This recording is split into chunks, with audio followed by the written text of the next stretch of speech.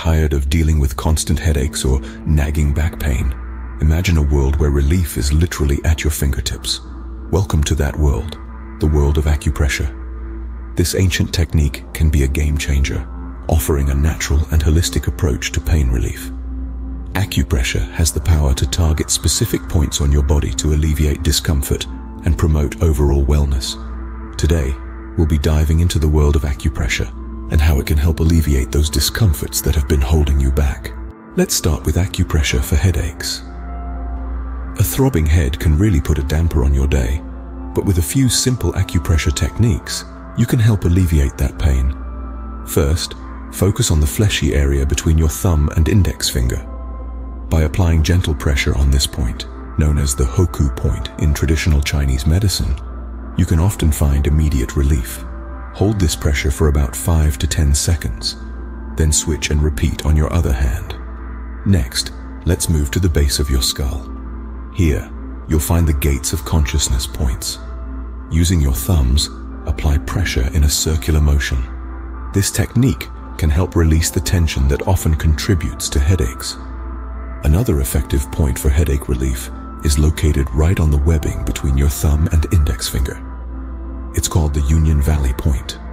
Apply firm pressure here and massage in a circular motion. This can help not only with headaches, but also with neck pain and stress. It's important to remember that when applying these techniques, the pressure should be firm but never painful. And don't forget to breathe deeply as you apply the pressure. Deep, rhythmic breathing can enhance relaxation and make the acupressure more effective. Remember, these points can be very effective in providing relief from headaches when applied correctly.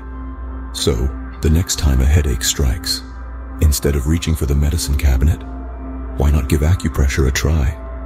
You might be surprised at how much relief you can find at your own fingertips. Now, let's move on to acupressure for back pain.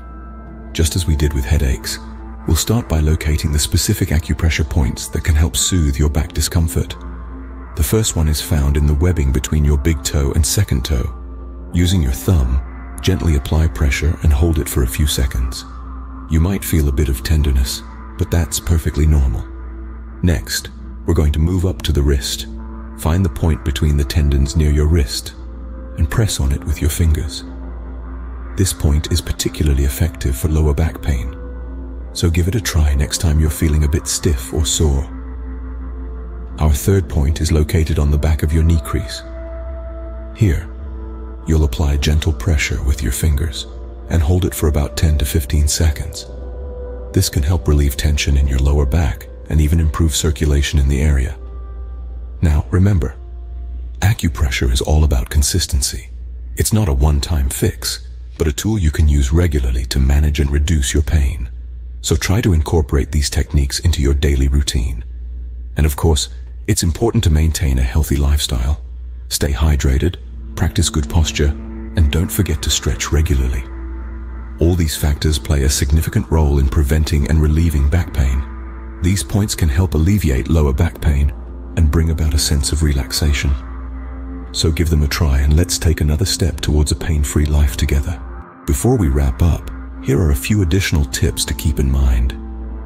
Acupressure is not just about applying pressure to certain points on your body. It's also about creating an overall atmosphere of relaxation and wellness. So, while you're performing these techniques, remember to take deep, calming breaths. This enhances relaxation and increases the effectiveness of the acupressure. Hydration is another key factor. Drinking plenty of water throughout the day helps to flush out toxins that may be contributing to your headaches or back pain. And of course, good posture cannot be overstated. Make it a habit to check in on your posture throughout the day, especially if you're spending long hours at a desk or in front of a computer. Daily stretching is also beneficial. Incorporating simple stretching exercises into your routine can help prevent discomfort and improve your overall well-being. And the most important tip of all, consistency. Like any other health practice, the benefits of acupressure are best felt when these techniques are performed regularly. So don't just try these techniques once and forget about them. Make them a part of your daily routine and see the difference they can make in your life. Don't forget to like, share, and leave a comment below sharing your experience with acupressure. Thank you for watching. And until next time, take care of yourself and prioritize your health.